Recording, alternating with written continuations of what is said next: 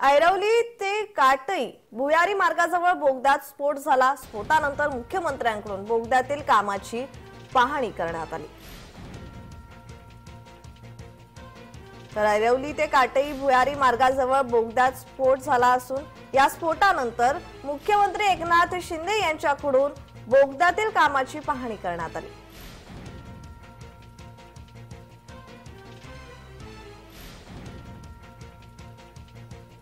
तर ऐरवली ते काटई भुयारी मार्गाच्या डाव्या बाजूच्या बोगद्यात स्फोट झाला असून स्फोटानंतर मुख्यमंत्री शिंदे यांनी स्वतः जाऊन या बोगद्यातील कामाची पाहणी केली. आहे